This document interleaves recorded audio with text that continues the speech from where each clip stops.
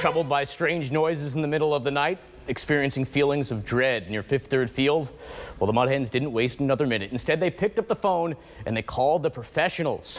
Yes, they called the Ghostbusters on call tonight at Fifth Third Field for Ghostbusters Night. Also, it's Ghostbusters Night in this T Sports Report. Hens taking on Gozer in the form of the Charlotte Knights. Fourth inning Hens rocking the Ghostbusters uniforms down a run. Who are you going to call? How about Mike Hessman?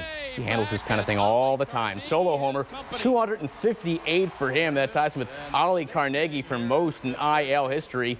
That evens the score at one. It would stay tied until the sixth. That's when the Knights made the biggest mistake since Walter Peck arrested the Ghostbusters in the first movie. It scored a fielder's choice and an error. Two-run score. Hens win 3-2. That wasn't such a chore, now was it?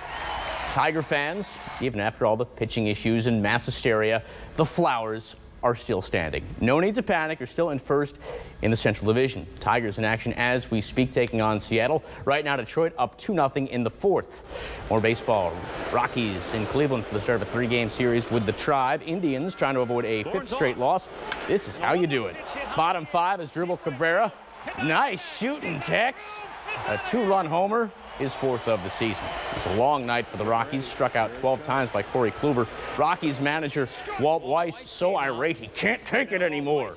He gets himself ejected. Guy needs some pink slime. That would calm him down, wake up feeling a million bucks. Indians win 5-2. And that's the Ghostbusters edition of the T-Sports Report. I'm Mike Lacett.